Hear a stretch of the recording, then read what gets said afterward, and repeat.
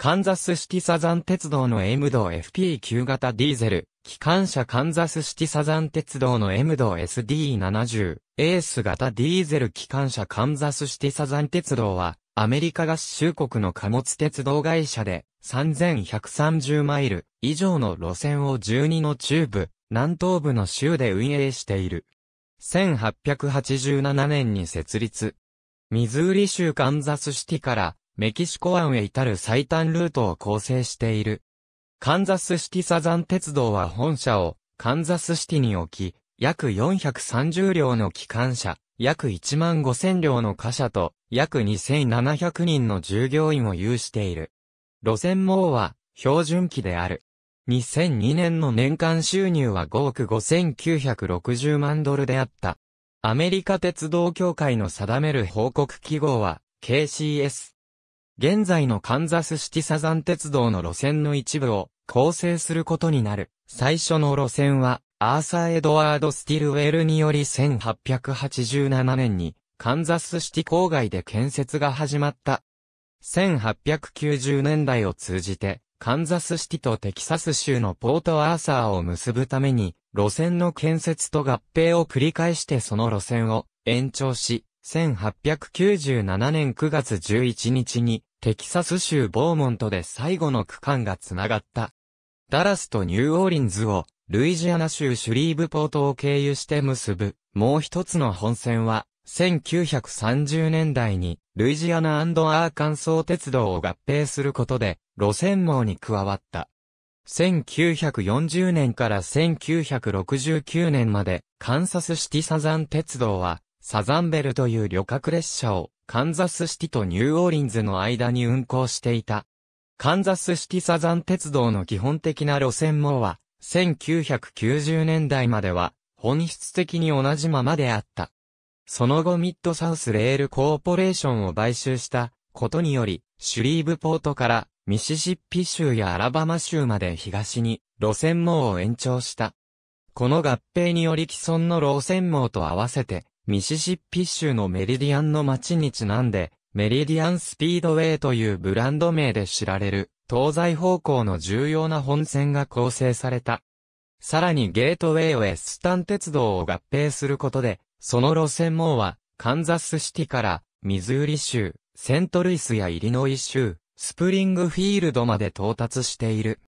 1990年代には、カンザスシティサザン鉄道は、テキサスメキシカン鉄道とメキシコ鉄道輸送の部分的な所有権の取得により、メキシコへも路線網を延長している。2005年には両鉄道の支配権を取得している。カンザスシティサザン鉄道の親会社は1962年にカンザスシティサザンインダストリーズとして設立されている。2002年には親会社の名前は単にカンザスシティサザンと短縮された。2021年3月、カナディアンナショナル鉄道は、カンザスシティサザンを買収することを発表。これに対し、同じカナダのカナダ太平洋鉄道もサザンに対して買収提案を行ったが、同年8月12日、カンザスシティサザンの取締役会は、先に発表したカナディアンナショナル鉄道の提案が優れているとの判断を示した。カンザスシティサザンはパナマ地峡鉄道の50%の株を所有している。2005年4月には KCS と共に TFM の所有権を所有していたメキシコの国営海運会社 TMM から TFM の支配権を買い取っている。同年12月、カンザスシティサザンは TFM の名前をカンザスシティサザンとメキシコに変更した。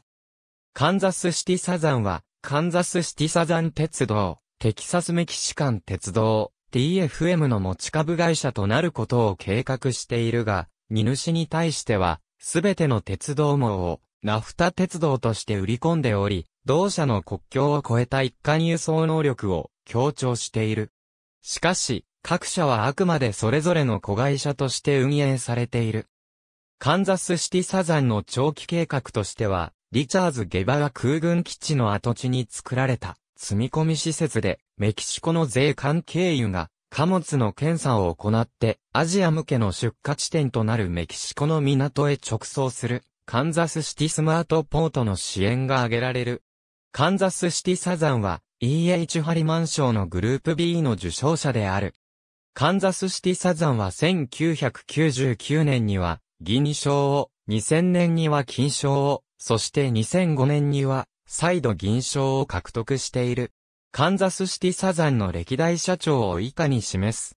米鉄道系 C サザンに300億ドルの買収案、カナダ競合間で、買収合戦か。ブルームバーグ。2021年8月12日閲覧。